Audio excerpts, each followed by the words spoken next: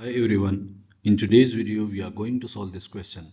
But before starting the solution, like the video and if you are new on my channel, please subscribe it.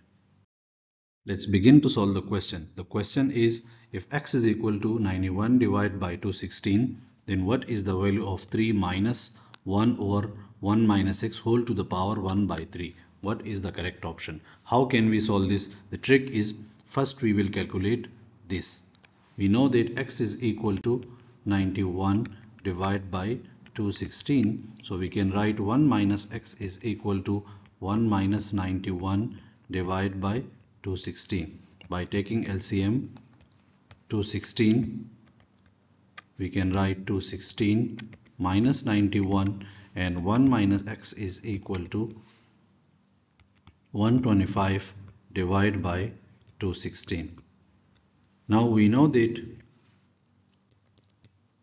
125 we can write 5 to the power 3 divide by 216 we can write 6 to the power 3 by taking whole power 1 by 3 both sides we get 5 by 6 so the value of this is 5 by 6 now the question is simple.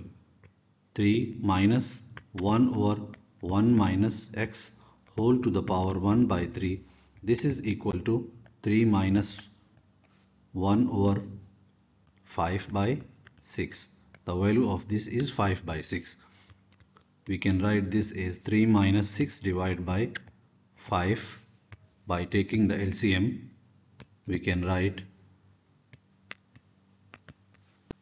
15 minus 6 divided by 5 and 15 minus 6 is 9 so 9 by 5 so the correct answer is 9 by 5 and the correct option is this option A.